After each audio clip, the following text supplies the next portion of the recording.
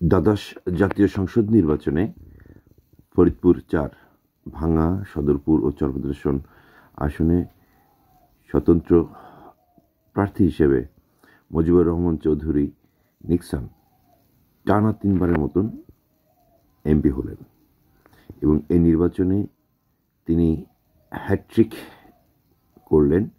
এবং আমরা তার বাড়িতে গতকাল গিয়েছিলাম নির্বাচনের শেষ হওয়ার পর ভোট গণনা শেষে যখন ফলাফল প্রকাশ হয়, সেই অবস্থায় তার বাড়িতে যে অবস্থা দেখতে পাচ্ছেন যে উচ্ছ্বাসিত দর্শক বা উচ্ছ্বাসিত তার যে ভক্ত, উচ্ছ্বাসিত ভোটার, সকলেই তখন বাড়িতে অপেক্ষা করছিল মুজিবুর রহমান চৌধুরী নিক্সনের জন্য।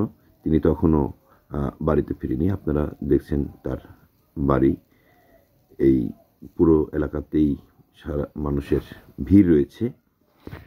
তো আমি ঘুরে ঘুরে দেখছিলাম এই সময় যে যার মতন আনন্দ করছিল, কেউ কথা বলছিল, কেউ নাচ করছে, কেউ গান করছে, যে যত মজা পারে নিচ্ছে।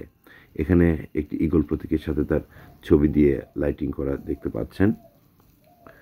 তো আমি টোটাল এলাকা আপনাদেরকে একটু ঘুরে দেখাই যে পুরো, যদিও রাত্রিবেলা, রাত্রিবেলাতে হলেও আলো থাকাতে এই দৃশ্যগুলো দেখতে পাচ্ছেন আপনারা সেই রকম।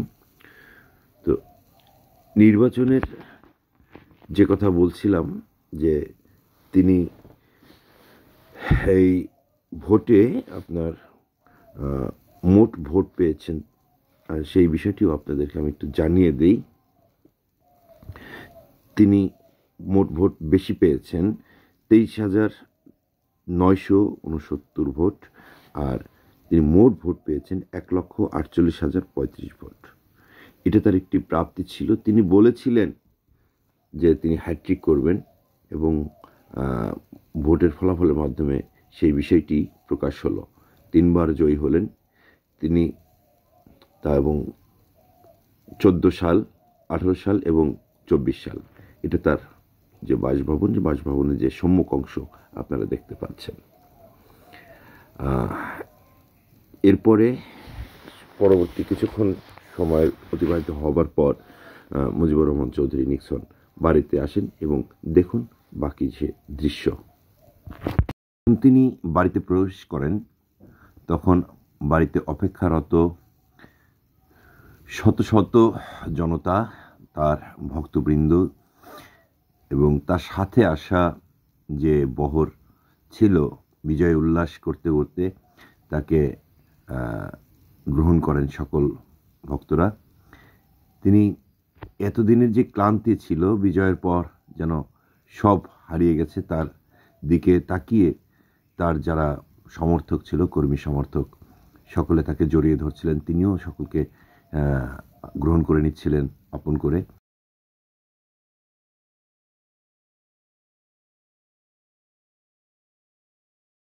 এছাড়া তিনি কর্মীদের সাথে বিভিন্ন বিষয় নিয়ে কথাবার্তাও বলেন এবং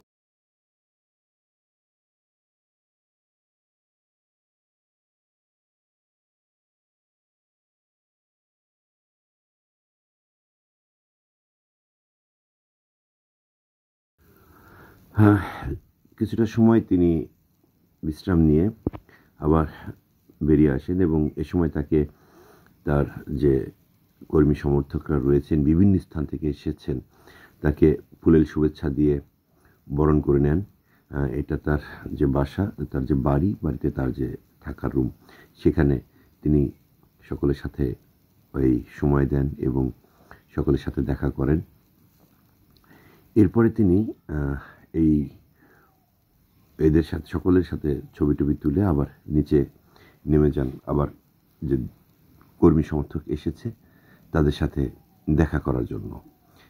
তো এই হচ্ছে তার থাকার ঘরটি এবং দোতলা থেকে তিনি যখন নিচে নেমে যাচ্ছিলেন নিচে অপেক্ষা করছিল তার জন্য হাজার হাজার মানুষ তখন জমায়েত নেমে যাওয়ার সময় কিন্তু ওই বাইরে থাকা কর্মী সমর্থকরা তার দিকে হাত তুলছিল তিনিও হাত তুলছিলেন এবং ইশারা করেন যে তিনি বাইরে আসবেন।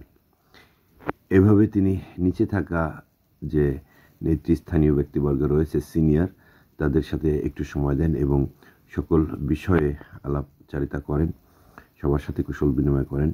সকলে আসলে এই বিজয় উল্লাসে তাকে জড়িয়ে ধরে তা সকলের উচ্ছ্বাস প্রকাশ করছিল। শেষে তিনি তার স্ত্রী এবং তার কন্যা আসেন, উপস্থিত কর্মীদের সাথে দেখা করতে।